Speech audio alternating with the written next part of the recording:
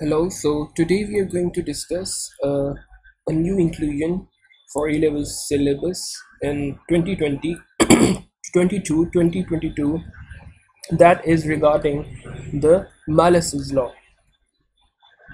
This was not so uh, the learning outcome says that understand that polarization is a phenomena associated with transverse waves and the second part says recall and use Malus's law I equals I naught cos squared theta to calculate the intensity of a plane polarized electromagnetic wave after transmission through a polarizing filter or a series of polarizing filters. So we are expected to do calculation from two, three or four polarizing filters. So let's start. So polarization definition first. So what is polarization? The process to confine the process to confine a wave to pass through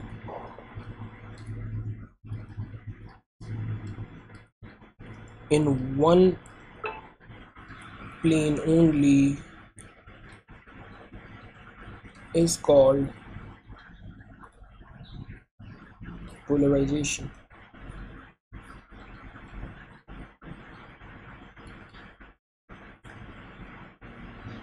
there are some notes.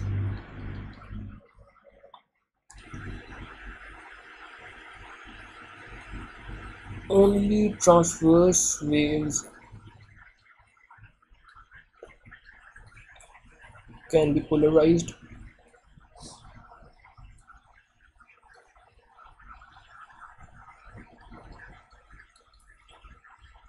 Longitudinal waves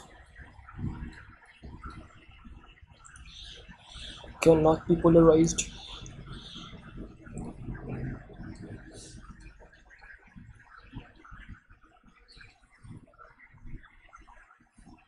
and point number three is that if we have a vertical plane polarized wave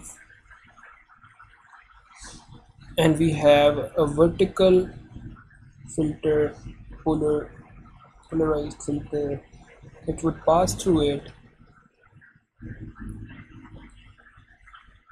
And if we have a vertical plane vertical polarized and we have a horizontal filter it would block the vertical filter.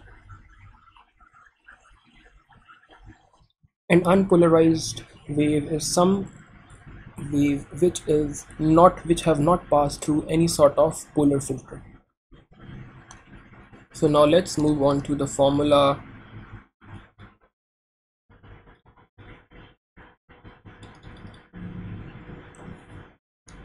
the formula for Malus's law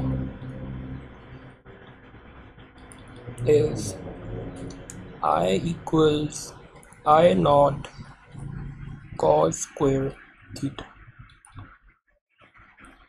Let's see the proof.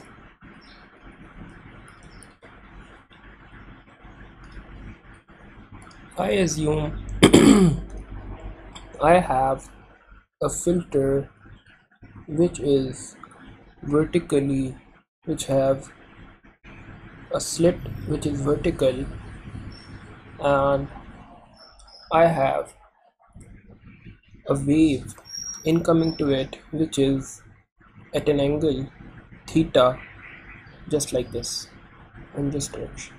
So this would be my wave and this would be my angle of axis of the polaroid. So this is our angle theta. If I assume that this wave has amplitude a naught. So this wave has amplitude a naught. So this component along the axis of the polaroid would be a naught cos theta. So my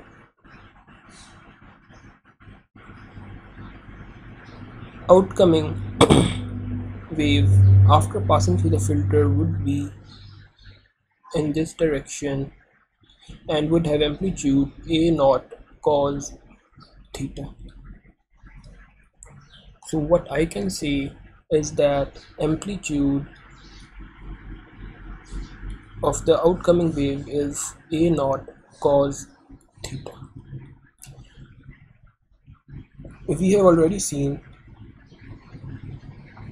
in waves that intensity is directly proportional to amplitude square so what we can say is that amplitude square equals to amplitude not square cos square theta which could further be written as intensity is equals to intensity not square cos sorry intensity not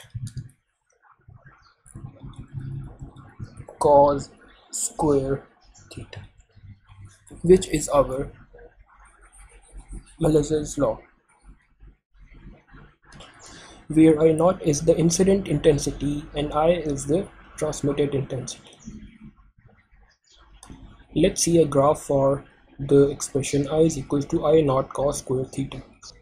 You can observe from this theta that when theta is 0 whole of the wave would pass and that would be maximum intensity. So at 0 degrees the maximum intensity of the wave passes.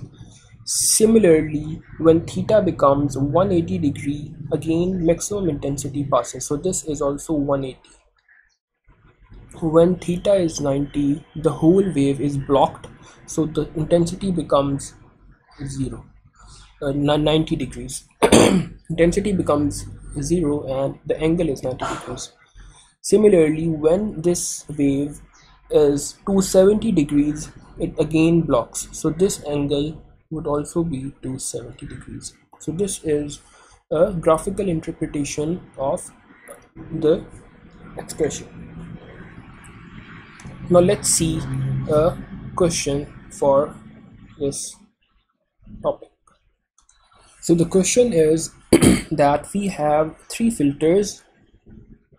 One filter is a vertical polarized filter. The second one is 45 degrees to the vertical. And the third filter is a horizontal filter. We have light of intensity I naught the question is to find the light after it passes through the third filter IF so we need to find the person uh, IF the final intensity after passing through filter number 3 and part 2 says to find the percentage reduction. So let's start with the filter number 1 so I the outcoming intensity would be I naught cos square theta. The wave is already vertically polarized so the angle would be 0 so that would become cos square 0 that will become i equals i naught. So that means that this outcoming intensity is also i naught. So the incoming to filter number 2 is also i naught.